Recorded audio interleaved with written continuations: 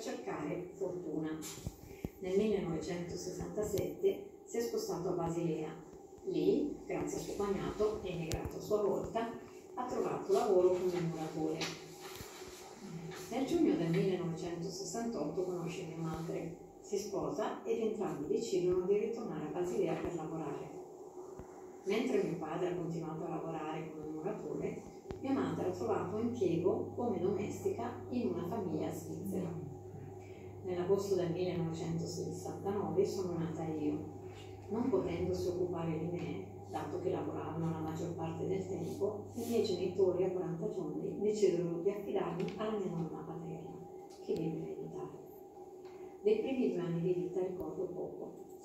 Grazie anche ai racconti che mi hanno riportato, ho in testa con chiarezza che vedevo i miei genitori a Natale, Pasqua e nelle vacanze estive quindi ero più affezionata a mia nonna rispetto che a loro. Credo di aver compreso di avere una mamma e un papà quando circa due anni e mezzo sono venuti a prendermi insieme a mio fratello di stare con loro in Svizzera.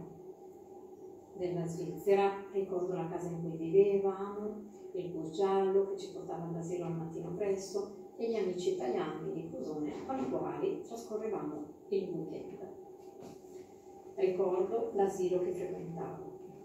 Erano tutti bambini italiani, parlavano l'italiano e di conseguenza non ho avuto la possibilità di imparare la lingua locale, che forse, col senno di poi, mi sarebbe potuta tornare utile negli anni a venire. Da piccoli i miei disagi si manifestavano attraverso un sonno agitato. Il mio carattere era spesso nervoso, perché in qualche modo voleva farla pagare i miei genitori era averci abbandonati, soprattutto mia madre, anche se, pensandoci a posteriore, era lei la prima a, sentirsi in colpa. Verso i cinque anni i miei genitori, visto che ero prossima a cominciare la scuola elementare, hanno deciso di rientrare definitivamente in Italia. Rientrata in Italia, ho frequentato per qualche mese la scuola materna a Robetta, poi la scuola primaria a Cusone e di nuovo l'Emilia Robetta. Alle medie ho avuto le prime difficoltà a inserirmi in una classe di ragazzi che erano cresciuti insieme in Italia. Anche se sono stati sempre gentili ed accoglienti, ho comunque faticato a sentirmi parte del gruppo.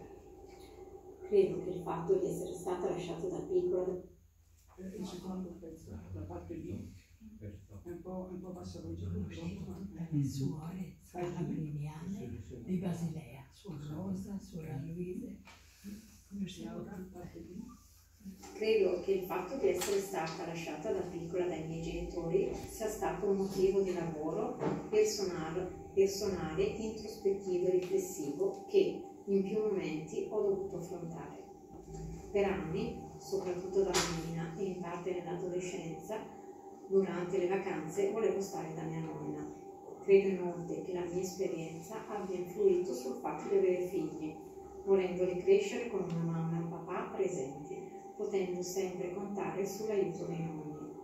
Ora che sono adulta e non ho più i miei genitori, capisco che tutto ciò che hanno fatto è stato per darci un futuro migliore, offrendoci l'opportunità di poter studiare, cosa di cui solo ora li ringrazio.